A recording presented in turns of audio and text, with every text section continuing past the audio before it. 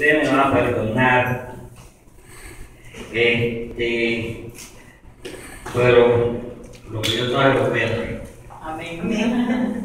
Yo he esperado aquí desde las 10 de la mañana. Santo es. Así que ustedes me van a esperar cuatro horas más. Porque yo sí que hablo, Alaba la gloria de Dios. yo sí que hablo. Qué bueno que eres mi Dios. Yo te digo a mi esposa que reparte estos papeles. Son hermano. vamos a hacer todo posible por darles algunos truquitos o algunas ideas de cómo evangelizar. Pero yo quisiera que usted fuera conmigo a la palabra, porque mire hermano, Dios no nos mandó a nosotros a conquistar reinos. Dios no, no nos mandó a nosotros a, a, a, a conquistar tierra ni, ni cosas así por el estilo. Dios nos mandó a evangelizar. Dios nos mandó a predicar su palabra y no a conquistar reino. Y si usted se va al capítulo 2 de- del libro de los Salmos, ahí vamos a ver a quién Dios le dio toda esa autoridad. Porque por ahí se está predicando de que hay, que conquistar reino, hay que con- conquistar y conquistar y conquistar y todo lo que pisar en la planta de tu pie es tuyo y entonces estamos mal. Exacto. Dios no nos mandó a eso, Dios nos mandó a, a predicar su palabra. Mira lo que dice el Salmo 2. Salmo 2 y el verso 8 dice de la siguiente manera. Dice, pídeme y te daré por herencia las que las naciones y como posesión tuya los confines de qué? ¿A quién Dios le estaba dando esa autoridad y ese poder? A Jesús. Así que yo no creo que, que- que- Dios le va a decir a mí, Alberto, conquista las naciones y conquista los reinos.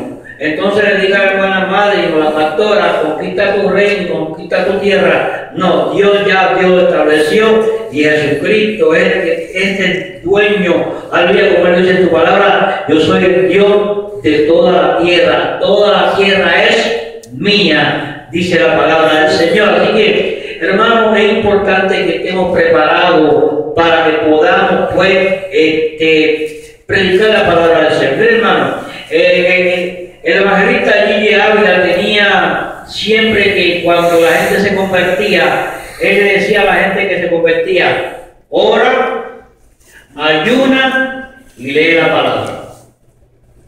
Eso lo decía Gigi Ávila siempre. Y ese es mi lema cuando yo daba clase. Yo le decía a los hermanos, ¿cuántos de ustedes tienen la Biblia? En todas clases. ¿Quién trajo Biblia? Hoy en día vamos a, vamos a tener que decir, saquen su, su, su celular y saquen su, su tableta. Pero Dios pues nos ha encomendado hacer un trabajo y esta iglesia pues hay una hermana pues que se ha animado pues a salir a la calle a evangelizar. Y aquí hay un grupo de hermanos pues que creo que la, la está apoyando y la va a apoyar para que trabaje en, en esa área del evangelismo y pueda, pueda alcanzar alma para su reino. Yo soy de los que no creo en que la iglesia, el templo, porque la iglesia somos nosotros, pero ya ese concepto está por tantos años de, de iglesia, pero nosotros somos la iglesia, este es el templo.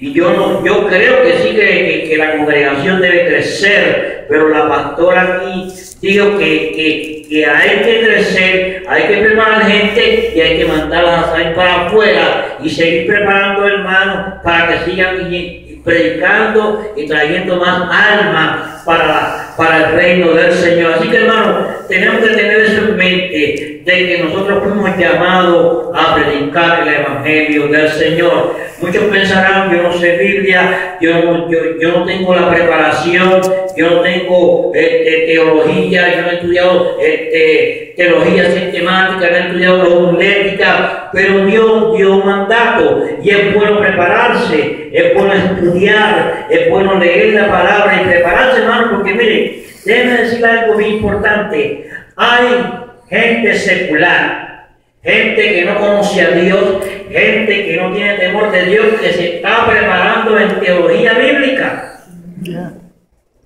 Lo están tomando como un curso regular, pero si, si usted no está preparado para hacerle frente a esta persona, pues mire, prepárese, no es malo estudiar la palabra, usted todavía está a tiempo para que se prepare la palabra del Señor. Yo siempre aconsejo al hermano que lea la Biblia, pero hermano, yo no la entiendo. Sigue leyendo. En su momento Dios te va a dar la gracia y la sabiduría y el conocimiento para que tú la puedas exponer. Pero si tú la tienes en tu casa guardada y no la lees, ¿cómo tú vas a poder eh, hacerle frente a un testigo de Jehová? Usted no sabe la cantidad de cristianos que cierra la puerta a los testigos de Jehová porque no es que no lo quiere escuchar, es que no están preparados bíblicamente para tener una conversación con esa persona y, y, y, y nos están comiendo los dulces.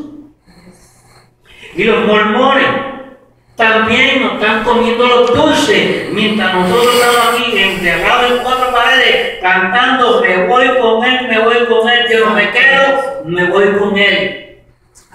Y hermano, así está la iglesia, Señor. Le cierran la puerta a esta gente. Aleluya, porque no es porque no quiera escucharlo, es porque no encuentran cómo refutarle por la palabra que ellos están en, algo erróneo.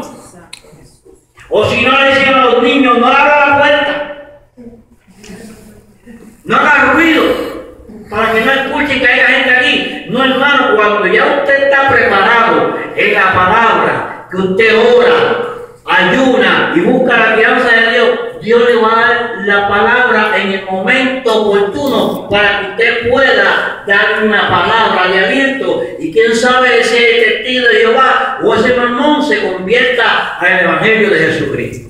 Aunque son duros de roer. Son duros de tocar con esa gente. Mire, usted lo lleva desde Génesis a Apocalipsis y contigo ellos, creen en lo que le han enseñado, hermano. Entonces, ¿cuánto más nosotros que somos almas hijos de Dios, que conocemos la verdad, debemos estar preparados para cuando venga esos acontecimientos y no tenerle miedo? Hermano, yo entiendo que esta parte humana, que es la carne, pues da temor. Da temor cómo presentar el Evangelio, da temor cómo, cómo, cómo explicar el Evangelio, que yo no sé cómo guiarlo, cómo llevarlo por la palabra. Pues léala, hermano. Léala. ¿Cuánto leen la Biblia en su casa? Amén. Amén. Son preguntas básicas que yo hago. Lea la palabra, hermano, porque la palabra es la que le va a ayudar a hacerle frente a todas estas situaciones. Porque si no conocemos la palabra, nos va a comer un caballo sin Así que vamos a tratar de, con la, con la ayuda del Señor, quiero también darle unos versos que ustedes los apunten ahí, porque yo quiero que usted entienda que cuando, cuando empezó Pentecostés, cuando empezó ese avivamiento, el derramamiento del Espíritu Santo, hubo algo que impulsó a los discípulos a predicar el Evangelio. Porque cuando Jesús antes de ascender al cielo, le dijo a los discípulos, no, no vais de dónde? De Jerusalén hasta que no sean revestidos del poder del Espíritu Santo. Y entonces, ¿qué pasa? Ellos llegan allá a aposento alto, como dice la Biblia, en el capítulo 1 de, del libro de los Hechos, y verso 8, dice, pero recibiréis poder cuando haya venido sobre vos- vosotros, ¿qué?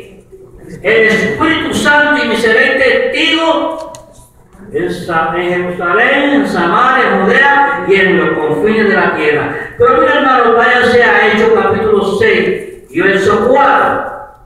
Yo quiero pues animarle a usted cuán importante es la palabra del Señor y cuán importante era para los discípulos predicar la palabra. Porque si usted se da de cuenta, antes que viniera el poder del Espíritu Santo, como los discípulos no lo habían recibido porque todavía Jesús estaba con ellos. Pero en el momento que recibieron el Espíritu Santo, recibieron qué? Poder. ¿Recibieron poder para qué? No para quedarse en Jerusalén, pero eso no lo vamos a tocar. Mira lo que dice eh, Hechos capítulo 6 y verso 4. ¿Qué Pero vamos a leer los primeros versos. En aquellos días, como creciera el número de los discípulos, hubo murmuración de los griegos contra los hebreos, de que las viudas de aquellos que eran desatendidas en la distribución diaria. Entonces los doce convocaron a la multitud de los, discípulos y dijeron, no es justo que nosotros dejemos la palabra de Dios para servir a la mesa. Bus- Buscad pues, hermanos, de entre vosotros a siete varones de buen testimonio, llenos del Espíritu Santo y de sabiduría, a quienes encarguemos de este trabajo. Y mira lo que dice el verso 4. Y nosotros persistiremos en qué? En la oración y en el ministerio de la palabra. Porque para los discípulos en ese momento era importante, había comunicarse con el Señor, prepararse la palabra y enseñar y predicarle de las nuevas nuevas de salvación. Y ese debe ser el deseo de cada uno de nosotros, prepararnos la palabra para poder predicarle a aquel que ya está afuera perdido en el mundo, en el pecado, en la maldad. Y ellos pues deseaban pues predicar el Evangelio de Jesucristo. Tener pasión por la palabra, tener pasión por predicar el Evangelio de Jesucristo, tener pasión de que las almas vengan a los pies de Cristo, que esa persona que cuando usted la vea, vea en usted el interés hacia Él, que conozca el Evangelio de Jesucristo. En, en, en, en Hechos 19 y el verso 8, voy rapidito, también hay, un- hay una palabra ahí, verso 19 y verso 8 dice, y, entran- y entrando Pablo en la sinagoga, habló con de nuevo por espacio de tres meses, discutiendo y persuadiendo acerca del reino de Dios. Cuando Pablo se convirtió, aquí habló la hermana, muy bonito de Pablo, cuando Pablo se se convirtió de verdad. Cuando Pablo se convirtió en, en- en su vida no había otra cosa sino que predicar del Evangelio de, Jesucri- de Jesucristo. Él dijo que él tenía por, por, por basura todo aquello que le rodeaba, porque él lo que deseaba, deseaba era ganar a Jesucristo. Y, y Pablo era uno de los que hablaba y hablaba y hablaba y no se cansaba de hablar del Evangelio. Porque él lo vivió, porque él vio cuando Jesús trató con él cuando iba a Damasco. Y Pablo se convirtió de corazón y él anhelaba que todo el mundo lo hiciera de igual manera. Y esa debe ser nuestra posición como cristianos. Anhelar predicar el Evangelio de Jesucristo. Anhelar de enseñar a aquel que está perdido. Aleluya. Y buscar cualquier cualquier cosa para poder introducir la palabra del Señor. Y la hermana la estoy usando de ejemplo porque trajo muchos puntos importantes. Cuando Pablo se encontró con los griegos había, y vio todos los dioses que tenían, y había un Dios allí, al Dios no conocido. Ahí Pablo se aprovechó y predicó del Evangelio, hermano. Hay que, perdónenme, a mí no me gusta mucho el micrófono. Hay que aprovechar cualquier situación, cualquier conversación que podamos meter a Cristo por el medio. Hay que buscar cualquier forma, cualquier idea que nos venga a la cabeza de cómo yo voy a tratar de introducir el Evangelio de Jesucristo. Hermano, si lo miramos, es fácil. A las mujeres les encanta hablar. Amén. Cuando los hombres hablan 10 mil palabras, las mujeres hablan 30 mil. Entonces, hermano, ¿cuál es la excusa? No tenemos excusa de hablar del Evangelio de Jesucristo. Miren, el, el capítulo 18 y el verso 5 de los Hechos dice: Y cuando Sila y Timoteo vinieron de Macedonia, Pablo estaba aquí entregado por entero a qué, hermano? No a contar novelas ni a contar historias, sino a la predicación y a la palabra, testificando a los judíos que Jesús era el Cristo. Cuando usted está impregnado de la palabra de Dios, cuando usted está lleno de la palabra de Dios, hermano, usted no quiere hablar de novelas. Amén. Amén. Usted no quiere hablar de, de, de esas porquerías de novelas que están tirando por la televisión últimos días que están promoviendo eh, la prostitución, el homosexualismo, eh, eh, la droga. Esas son las novelas que se están tirando por la televisión. Cuando usted está impregnado del Evangelio de Jesucristo, lo que usted anhela es hablar de Jesucristo. Y el último verso es en el, en el capítulo 20 y el verso 24. Yo me admiro con los, predicadores que citan la Biblia así. Yo me admiré con la hermana que no cita la palabra. Yo no tengo esa gracia, yo tengo que escribirlo todo. Dios le dio el don a cada cual como tenía que hacer. Mira el verso 20 y el verso 24 del libro de los Hechos. Dice, pero de ninguna cosa hago caso, ni estimo preciosa mi vida para mí mismo, contar de que acabe mi carrera con gozo y el ministerio que recibí del Señor Jesús para dar testimonio de qué? Del Evangelio de la gracia de Dios. Pablo murió de esa manera. Pablo murió predicando el Evangelio de Jesucristo. A Pablo ni, ni las cadenas, a Pablo ni las prisiones, nada lo detuvo para que él predicara del Evangelio de Jesucristo. Entonces, hermano, ¿cuál es la excusa que nosotros estamos poniendo? Y yo me incluyo. Estamos muy cómodos dentro de las cuatro paredes. Se nos está haciendo fácil venir a la iglesia llenando, danzar en el espíritu, hablar en lengua, brincar y saltar, romper el banco, tirar la batería para el piso. Aleluya, eso es bonito. Pero Dios no nos más. llamó a eso. Dios nos llamó a predicar y a, evangelizar y llevar las nuevas nuevas de salvación. Ahora bien, vamos a traer unas cuantas ideas aquí de cómo se evangeliza. Y ahí yo creo que mi esposa le repartió el papel. Mire, hermano, la primera idea, yo voy a pedirle a ella que me traiga los, los utensilios que yo traje para que usted tenga una idea. Porque hay muchas maneras de evangelizar, pero la, la más importante es tú a tú. Amén. La más importante es tocar puertas, conversar con la persona. Yo, el trabajo que yo hago, por ley, me exige mi trabajo que yo tengo que tocar puertas. Yo no puedo hacer mi trabajo a menos que yo tenga un contacto con el dueño de la casa. De la única manera que yo no puedo, que yo no puedo, que yo puedo hacer el trabajo es que el dueño de la casa no me conteste. Y algunas veces están dentro de la casa y no contentan. Entonces yo tengo que apagarle el agua, porque yo lo que hago es cambiar contador de agua. Ese es mi trabajo. Y si no me contestan yo apago el agua, ellos salen corriendo. ¿Qué pasó? En estos días me salió un muchacho y me trajo hasta el recibo. No, pero mira, yo pagué la luz. Digo, yo pagué el agua. No, no, tranquilo. Y lo que te voy a a cambiar el contador. O sea, mi responsabilidad es tocar la puerta porque me lo exige mi trabajo. No puedo pagar el agua a nadie hasta que yo tenga contacto con otra persona. Entonces, la mejor forma de evangelizar es el contacto con otra persona.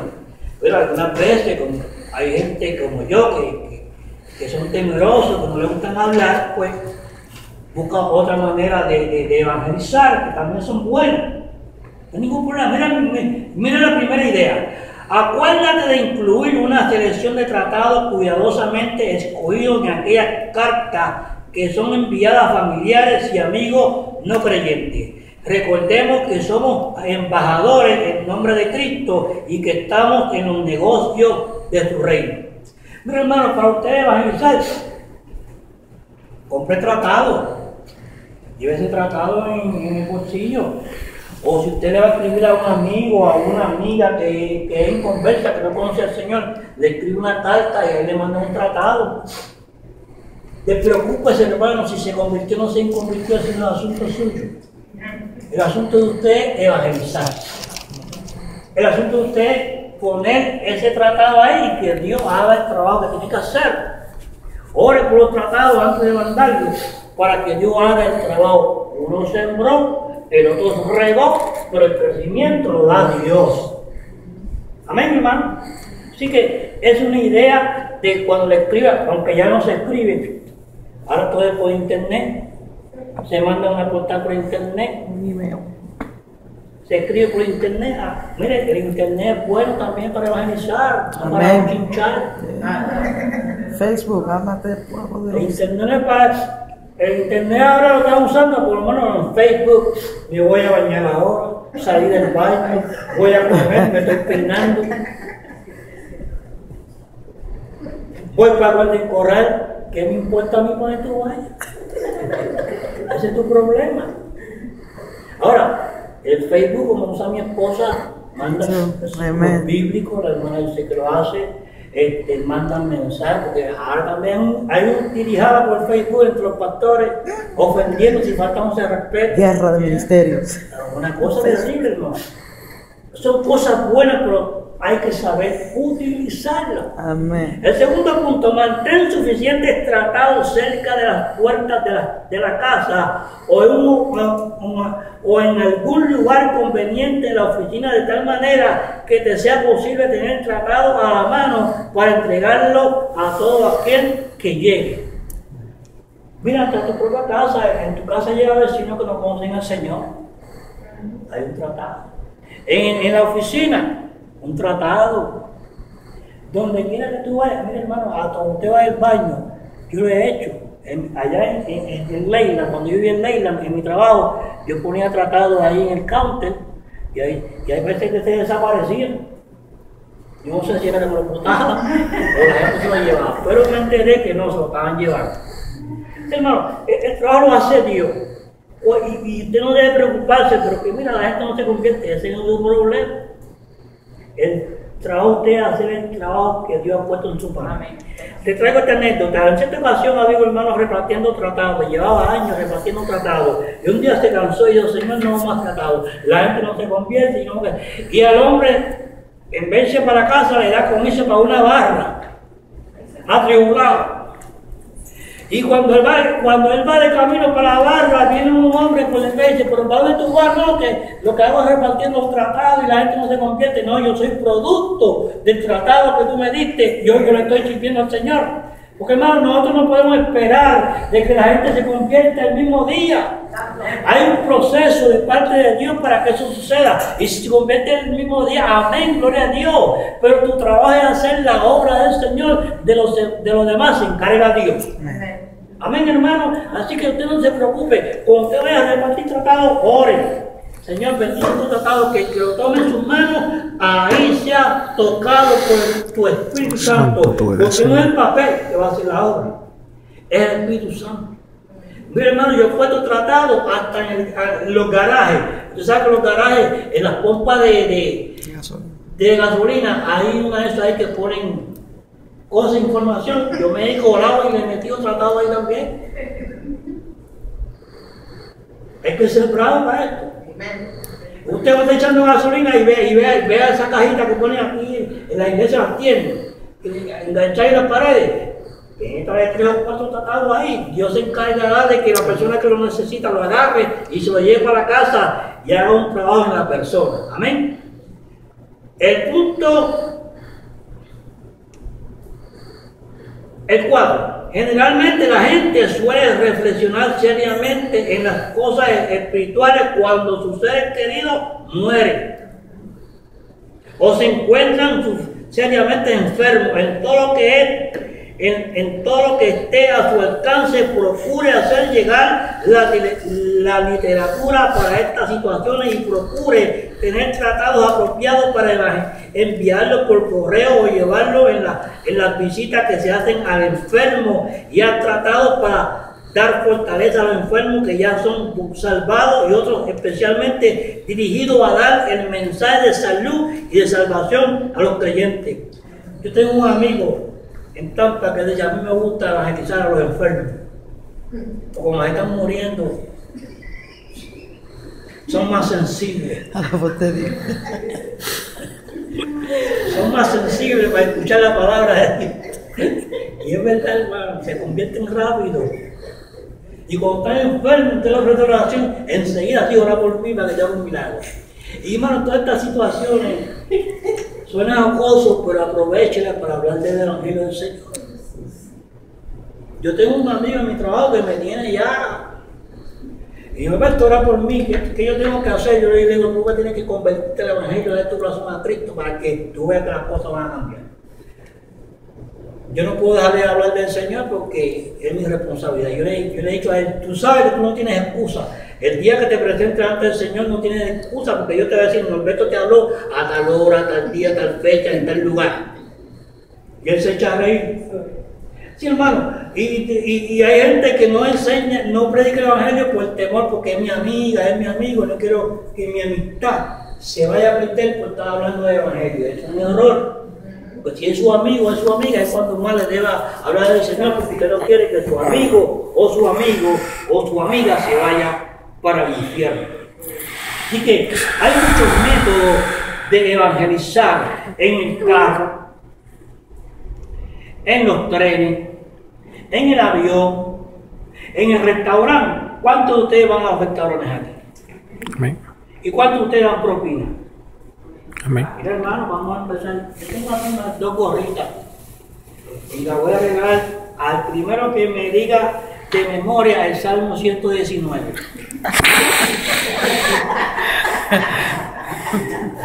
sabía No soy tan talentosa. No soy tan talentosa. El Salmo 119. La nunca tengo. Mira, hermano, hay muchas formas de evangelizar. Yo tengo aquí un dólar de un millón de pesos y en la- como está la economía hoy en día, Miren bien. ¿a quién no le gusta un millón de pesos? Wow, wow, Dios, usted miren, yo, yo he visto esto por, por televisión. Hay gente que evangelizan y, y los van tirando en el piso.